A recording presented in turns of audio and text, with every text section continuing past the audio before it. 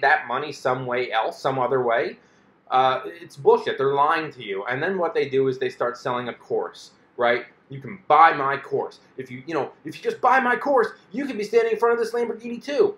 And then you've got some guy who's sitting on his couch who's like 43 years old and he's fat and he's bald and there's kids everywhere and there's Legos all over the floor and he's tired and he's burnt out from his 9 to 5 lifestyle. And he goes, Man, if this fucking 23 year old can have a Lamborghini, why don't I have this life? I'm going to buy his course. I want that Lamborghini. And so they buy the course. They spend the, you know, the the seven hundred dollars or the four hundred dollars or the three easy payments, of forty-nine ninety-nine, and they get the course. And the thing that these people with these courses are doing, like they know that their course is bullshit. I mean, I've never read one of those courses, but I would imagine that it's just a lot of fluff and bullshit. I don't think these people actually expect anyone to read the actual course material. I think the goal, the end goal for them, isn't to teach people how to be better traders or investors or marketers or or whatever whatever um, whatever they're coaching you to do. I don't think they're actually expecting you to follow through. Right? Do you remember those um, those infomercials from the '90s where they would say, if you order this course, you can get, you know, we'll send you uh, eight VHS tapes and 32 tape cassettes that you can listen to on your way to work, and we'll send you this book, and the book is like 7,000 pages, and look at all the value. And when you're sitting on the couch at 3 in the morning, depressed and miserable, you're looking at it and you're going, wow, look at all that value I'm getting. Ladies and gentlemen, these volumes can make you thousands of dollars for the rest of your life. And I'm making this complete cash flow system over 20 hours of audio tapes and over 1,400 pages of written material for only $367. That means you're going to own this valuable information for only $45.87 per course. In celebration of my fifth year on television, for a limited time only, I'm going to include the following bonuses. You'll receive a copy of Instant Mail Order Millions, Dave's newest book how you can start and profit from your own home mail order business. And the first 100 callers will receive Dave's national bestseller, How to Make Nothing But Money. This volume alone, folks, is worth hundreds of thousands of dollars through the information that's contained in this. That's right. I'm getting like a whole college education in this course. I'm going to buy it. And then they buy it and it comes, it shows up in the mail. And what do you do? You open it and you go, you go, Jesus Christ, look at all this material. Ugh, I'm, I'm not going to do this now. I'm not going to read all of this now. But I will one day. And so they put it in the closet. You know, because they're already so burnt out. Is, is what you know? Do they really want to sit there and read a course and go through all of that work? No, they don't. Their intentions are to do it eventually one day, but right now they're too tired. They're too tired. They'll they'll do it later. You know, because they always say like, and your money back. If you're not happy, you'll get your money back. But they don't want to sit. They don't. They're not going to open it and go. I'm not going to do this. They want to believe in themselves. They want to say, you know, one day maybe I will do this. One day maybe I will actually go through this course. It's just not going to be today. And so they stuff it in the closet and they kind of forget about it uh, until like a couple years go by and their their wife or their kids or someone that they know says, "Hey, we're having a, a, neighborhood yard sale. Why don't you join us and you can sell some of your shit that you've got sitting around?" And they look in their closet and they go, "All right, I might as well sell this course. I never did it. I'm never gonna do it." And they just put the course in the yard sale. and They go, "Well, that was a waste of three easy payments of forty nine ninety nine. But you know, all right, because that's how we look at money, right? We look at money as like, "Oh well, what, was I gonna do with that hundred and fifty dollars anyway?" You know, I'm not going to retire on that $150. What, what, what could I have done with that 150 that I wasted on that course? Maybe dinner and a movie, a date night. All right, so I missed out on one date night because that's how we look at money. We don't look at it in terms of how can it work for me and how can it help me grow and build wealth. We look at it as, eh, I probably would have just gone out for dinner and a movie. Oh well, big deal. Not that much money at the end of the day, except that it is, right? That $150 wasted on that course is $150 that you could have put into that dividend paying stock that you really like, right? And build wealth over a long period of time over compounding interest and growing a position. You know, maybe people go, well, but what can I do? You know, what can I do with $150? I can't really start investing with $150, except that of course you can. Of course you can start investing with $150. You can start by buying a couple shares of every company that you like, especially the ones that pay good, solid dividends and are blue chip companies that have been around for a very long time. And you can find those by Googling them. And you can do your research, but you're going to know those companies. And you, you can buy those companies a little bit at a time and build wealth slowly over a long period of time. It's like it's like when you go to the to the gas station and you pick up twenty dollars worth of scratch off tickets every week while you're waiting for your car to fill up. You know, hoping you hit it big this time. And you go, well, it's only twenty bucks. It's only twenty bucks. What could that do for me? Except that that twenty dollars a week on scratch off tickets is eighty dollars a month. That could be put towards a dividend stock. And we look at it as but I'm not getting much, so I might as well not even bother. Except that over time, that money builds. And when you get dividend payments, they might not be a lot initially, but they will grow over time.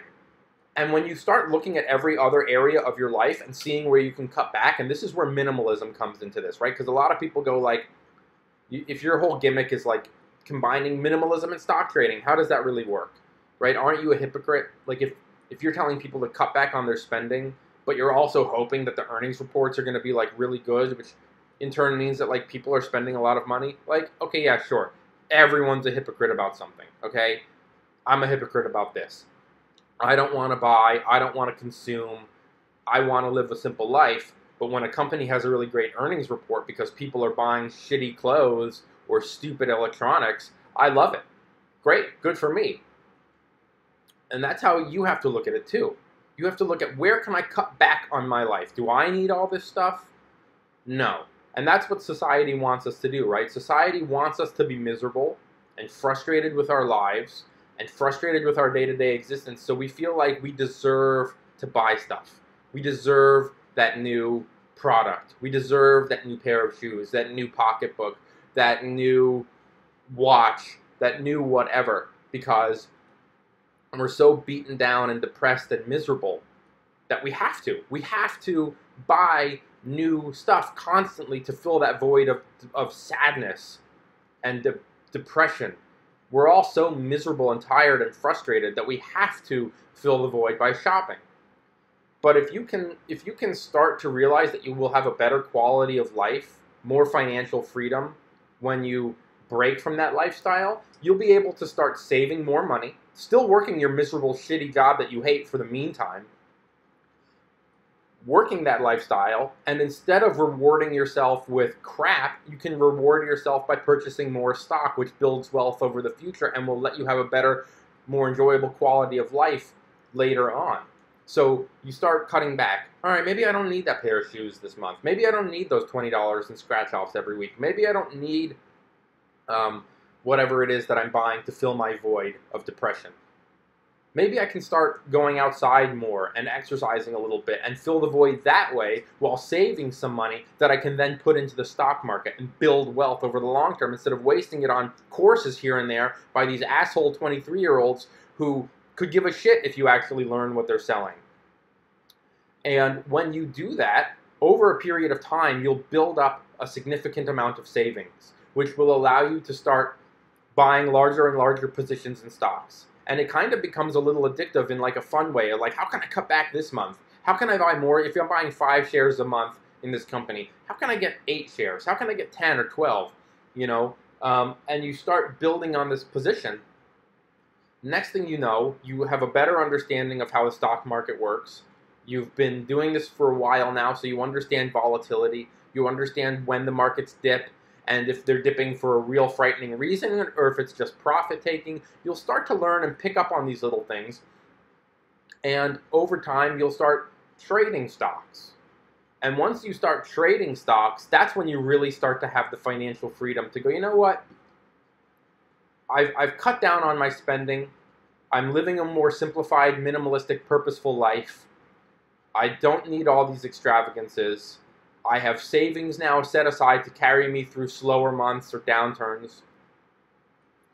I'm going to quit my job and I'm going to focus on trading stocks because I'm not losing money uh, to the rate that I thought I would. right? Everyone associates the stock market with tremendous loss. You hear about Bernie Madoff and the recession, and you know your friends who, with Enron, and they lost they lost everything in the stock market, and, and you don't want that to happen to you. But as I've talked about in other videos, you'll have stop losses set up, either mental stop losses or actual ones that you can set up on your Thinkorswim uh, Ameritrade software. That as a stock starts to go down, it auto triggers that stop loss to minimize your loss. You know, you have to check your ego and your pride uh, at the door when you're doing this, right? Like, I know a lot of people think, like, well, I researched the stock, I know the stock, I picked this stock. I don't want it to be a loser, then I'm a loser. I'm going to hold it. And that's when you get into trouble because then the stock starts to crash. The stock starts to go down. And you're stuck holding it. You're stuck holding it at a at a 5% loss and you go, "Well, it'll come back." then it's a 10% loss. Well, it'll come back. Well, it's a 15% loss. Well, uh, it'll come back, right? And then you start freaking out. You start going online and reading these reports, and people are going, sell it, sell it. And you go, well, I don't want to sell it now. I'll have lost 20% of my money. And so you watch it gradually tank all the way 50% loss, 70% loss. And you're going, well, now I really can't sell it. I'm not going to lose 70% of my money. I'll just hold it. And that's how people get fucked in the stock market.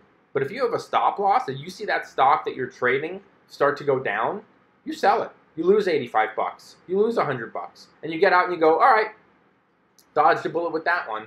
And the difference between trading stocks and investing in stocks is the stocks that you're investing in are good long-term dividend-paying stocks that will swing violently at times based on economic news, earnings news, etc. All that stuff factors into the investments. And you don't want to always sell an investment when it goes down 7% because you're holding it for the long term. And like I've said in other videos, the, the hope with the stock market is that over time it goes up. So if you've picked a good stock, if it's well regarded by Wall Street, if it pays a solid, uh, uh, reliable dividend over many years, as it starts to go down, you can do the research, you can read what's going on, and you can make a judgment call at that time. But generally, you, you don't mind holding on to those stocks when they have a 7% loss or a 10% loss because the goal, as I said, is that it, it goes up over time. So when it's down 7%, instead of panicking and selling, you can buy more at a lower price. It's like the stock market goes on sale. You can get that stock at a lower price. Um, if you're trading stocks, it's an entirely different ballgame because you're throwing in a lot of money for a very short, quick turnaround. And if that stock starts to go down, it can go down drastically, and um, and then you can get you end up getting stuck with a loser. So when you're trading stocks, the goal then is to say, I'm pulling the plug. I'm getting out now. I'm I'm uh, I'm I'm pulling the plug on this loser. I lost two percent of my money on a ten thousand dollar investment. Two percent is two hundred dollars. That sucks. But at least I didn't lose seven percent. At least I didn't lose ten percent, which would be a thousand dollars. So you definitely have to keep that in mind when you're trading to minimize your losses. You want to protect as much capital as you can. And also you want to hope that you have more wins than losses to eke out those little small losses. You want to you want to you want to buy the stock at the right time. You want to buy it at the dip in the in the late afternoon or in the early morning when it starts to sell off. You want to go in, you want to go in strong and you want to buy 500 shares when it's down a lot when it's bottomed and then hope that it starts to turn around. And usually, what you want to do is you want to buy it at the breakout, right? So it's going to go down and down and down, and then there's going to be so much volume coming into that stock that it's going to it's going to turn around and it's going to break out. It's going to put an end to its downtrend for the day, and the stock is going to start to edge a little higher. When you start seeing it begin to turn around, and you start to see it break out of that tight early morning sell off range, that's when you start to get in. You ride it as it starts to rebound. And since you don't know where the top is going to be, you don't know where it's going to go. All right, we've reached new high. We've reached the high for the day. It can't possibly go any higher than this. At some point, you're going to have to sell it. and You're going to have to take that profit, and it might suck. You might you might sell the stock when it's up three percent, and then watch it go up another two, and go, "Fuck! If I had just kept it, I'd have had five percent instead of three percent." But the alternative to that, the flip side to that is you hold it at 3% going, I want 5, I'm going to be greedy, I want 5, I want 5. And then instead, it dips and it drops. And now you end up losing money. It goes down 5%. So you have to take your 2% loss and you go, fuck, I should have sold it when it was 3. So since you don't know where the top is going to be, it never hurts to take a profit, right? One, one of these guys that I know, um, he always used to say, nobody ever went broke taking a profit. And that's the goal here. Okay, fine, you have smaller profits. Maybe it could have gone up a little bit more. But at least you're using your money to build on your wealth versus paying money on a course that you're never going to take.